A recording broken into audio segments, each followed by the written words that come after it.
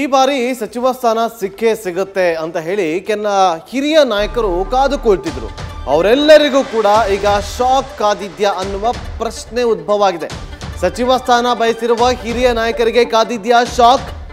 ಯಾಕಂದ್ರೆ ಕೊನೆಯ ಚುನಾವಣೆ ಅಂತ ಗೆದ್ದು ಬಂದಿರುವಂತಹ ಹಿರಿಯ ಶಾಸಕರಿಗೆ ಸ್ಥಾನಮಾನ ಸಿಗೋದು ಡೌಟ್ ಅಂತ ಹೇಳಲಾಗ್ತಾ ಇದೆ.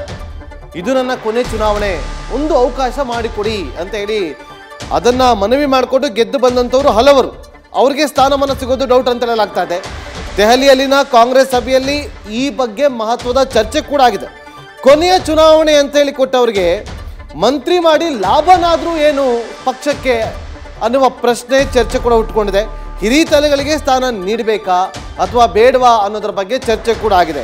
ಯಾವ ಮುಖಗಳಿಗೆ ಮಣೆ ಹಾಕುವ ಬಗ್ಗೆ ಸಭೆಯಲ್ಲಿ ಒಲವನ್ನು ತೋರಲಾಗಿದೆ ಅನ್ನೋದು ಕೂಡ ಈಗ ಬಹಳ ಕುತೂಹಲ ಕೇಳಿಸ್ತಾ ಇರುವಂಥದ್ದು. ಮತ್ತಷ್ಟು ಮಾಹಿತಿಯನ್ನು ಕೊಡ್ತಾರೆ ನಮ್ಮ ದೆಹಲಿ ಪ್ರತಿನಿಧಿ ಜಗದೀಶ್ ಲೈವ್ನಲ್ಲಿ ಜಾಯ್ನ್ ಆಗಿದ್ದಾರೆ. ಜಗದೀಶ್, ಸಭೆಯಲ್ಲಿ ಏನೆಲ್ಲ ಚರ್ಚೆ ಆಯಿತು?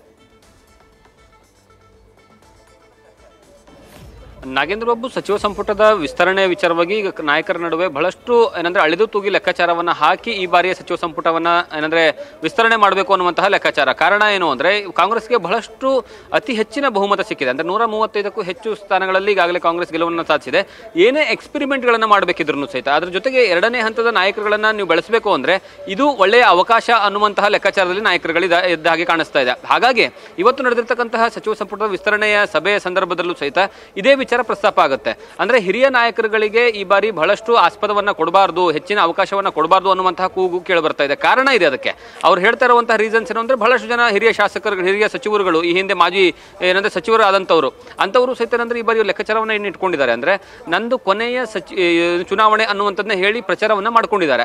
ಅಂತಹ ಯಾರೆಲ್ಲ ನಾಯಕರುಗಳಿದ್ದಾರೆ, ಅಂತ ಯಾರೆಲ್ಲ ಸಚಿವರಾಗಿ, ಶಾಸಕರಾಗಿ ಆಯ್ಕೆಯನ್ನ ಆಗಿದಾರಲ್ಲ ಅಂತವರಿಗೆ ಈ ಬಾರಿ ಸಚಿವ ಸ್ಥಾನವನ್ನ ಕೊಡಬಾರ್ದು. ಕಾರಣ ಏನು ಅಂತಂದ್ರೆ ಒಂದು ವೇಳೆ ಅವರಿಗೆ ಕೊಟ್ಟರು ಸಹಿತ ಮುಂದಿನ ದಿನಗಳಲ್ಲಿ ಅವರನ್ನ ಅವರ ಫೇಸನ್ನು ಇಟ್ಕೊಂಡು, ಅವರ ವರ್ಚಸ್ಸನ್ನು ಇಟ್ಕೊಂಡು, ಅವರ ಕಾರ್ಯವನ್ನು ವೈಖರಿಗಳನ್ನು ಇಟ್ಕೊಂಡು, ನೀವು ಚುನಾವಣೆಯಲ್ಲಿ ಹೋಗಿ ನೀವು ಮತ್ತೆ ಏನಂದರೆ ಗೆಲುವನ್ನು ಸಾಧಿಸ್ಕೊಂಡ್ಬರ್ತೀನಿ ಅನ್ನುವಂಥದ್ದಿಲ್ಲ. ಅವಾಗ ಹೊಸ ನಾಯಕರುಗಳನ್ನು ಸೃಷ್ಟಿ ಮಾಡಬೇಕಾಗುತ್ತೆ, ಹೊಸ ನಾಯಕರುಗಳಿಗೆ ಶಾಸ, ಏನೋ ಟಿಕೆಟನ್ನು ಕೊಡಬೇಕಾಗುತ್ತೆ ಚುನಾವಣೆ ಸಂದರ್ಭದಲ್ಲಿ. ಹಾಗಾಗಿ ಅದನ್ನೆಲ್ಲ ಪರಿಗಣಿಸಿಕೊಂಡು, ಯಾವುದೇ ಕಾರಣಕ್ಕೂ ಸಹಿತ ಹಿರಿಯ ಶಾಸಕರುಗಳಿಗೆ ಅದರಲ್ಲೂ ಪ್ರಮುಖವಾಗಿ ಈಗ ಯಾರೆಲ್ಲ ಚುನಾವಣೆ ಸಂದರ್ಭದಲ್ಲಿ ಹೇಳ್ಕೊಂಡು ಅಡ್ಡಾಡಿದ್ರಲ್ಲ, ನನ್ನ ಕೊನೆ ಚುನಾವಣೆ ಅಂತ, ಅಂಥವರಿಗೆ ಸಚಿವ ಸ್ಥಾನ ಕೊಡಬಾರ್ದು, ಅವರನ್ನು ಪಕ್ಷದ ಸಂಘಟನೆಗಾಗಿ ಬಳಸ್ಕೊಳ್ಬೇಕು ಮತ್ತು ಅದರ ಜೊತೆಗೆ ಅವರಿಂದ ಮಾರ್ಗದರ್ಶನಕ್ಕೆ ತೆಗೆದುಕೊಂಡು ಅವರಿಗೆ ಸರ್ಕಾರದ ಸಂದರ್ಭ, ಸರ್ಕಾರದ ಆಡಳಿತ ಸಂದರ್ಭದಲ್ಲಿ ಅವರ ಅನಿಸಿಕೆ, ಅಭಿಪ್ರಾಯಗಳನ್ನ ಸಂಗ್ರಹ ಮಾಡಬೇಕು ಅನ್ನುವಂತಹ ಲೆಕ್ಕಾಚಾರವು ಸಹಿತ ನಡೀತಿದೆ. ಹಾಗಾಗಿ ಅದೇ ಒಂದು ಕಾರಣಕ್ಕಾಗಿ ಯಾರನ್ನೆಲ್ಲ ಕೈ ಬಿಡ್ತಾರೆ, ಯಾರನ್ನೆಲ್ಲ ಏನಂದ್ರೆ ಈ ಬಾರಿ ಸಚಿವ ಸಂಪುಟದಲ್ಲಿ ಸೇರ್ಪಡೆ ಮಾಡ್ಕೊಳ್ತಾರೆ ಅನ್ನೋದು ಬಹಳಷ್ಟು ಕುತೂಹಲ ಮೂಡಿಸಿದೆ.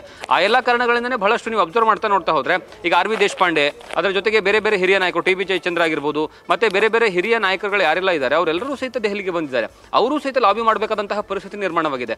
ಈ ಲಾಬಿ ಈ ಹಿಂದೆ ಯಾವುದೇ ಕಾರಣಕ್ಕೂ ಸಹಿತ ಅವರು ನಾವು ಕ್ಯಾಬಿನೆಟ್ ಅಲ್ಲಿ ಇರ್ತೀವಂತ ಒಂದು ಏನು ನಂಬಿಕೆ ಇರ್ತಿತ್ತಲ್ಲ, ಈ ಬಾರಿ ಅಂತಹ ನಂಬಿಕೆ ಅವರ ಮುಖದಲ್ಲಿ ಕಾಣಿಸ್ತಾ ಇಲ್ಲ, ಮತ್ತೆ ಅವರು ಪ್ರತಿ ಬಾರಿಯೂ ಸಹಿತ ಒಂದೇ ದಿನದಲ್ಲಿ ನಾಲ್ಕರಿಂದ ಐದು ಬಾರಿ ಹೋಗಿ ಎಲ್ಲ ನಾಯಕರುಗಳನ್ನ, ಹಿರಿಯ ನಾಯಕರುಗಳನ್ನ, ಹೈಕಮಾಂಡ್ ನಾಯಕರನ್ನ ಹೋಗಿ ಭೇಟಿ ಮಾಡಬೇಕಾದಂತಹ ಪರಿಸ್ಥಿತಿ ನಿರ್ಮಾಣವಾಗಿದೆ.